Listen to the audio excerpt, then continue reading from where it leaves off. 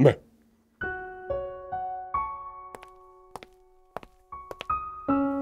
This video didn't have to look this way. It could have been prevented.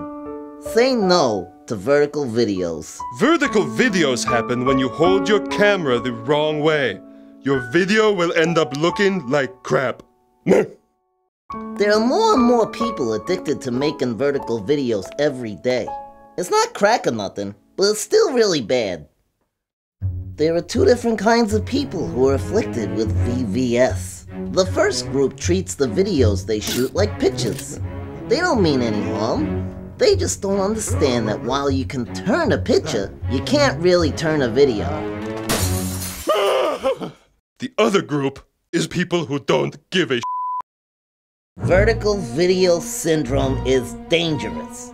Motion pictures have always been horizontal. Televisions are horizontal. Computer screens are horizontal. People's eyes are horizontal. We aren't built to watch vertical videos. I love vertical videos! Nobody cares about you. If this problem's left unchecked, YouTube will begin showing four videos at once, just to save bandwidth. Letterboxed vertical videos would be the size of a postage stamp. And it will spread everywhere. Movie screens have always been horizontal. If vertical videos become accepted, movie theaters will have to be tall and skinny. And all the movie theaters would have to get torn down and rebuilt. And by the time they were rebuilt, Mila Kunis would be old and ugly. And birds will crash into them and die. And we will all get stiff necks from looking up. And no one will sit in the front row ever again. And George Lucas will re release Star Wars again! The skinny edition!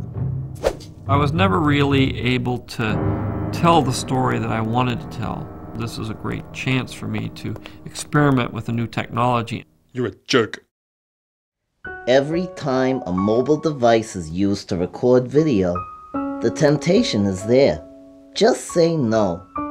Say no to George Lucas. Say no to old Mila Kunis.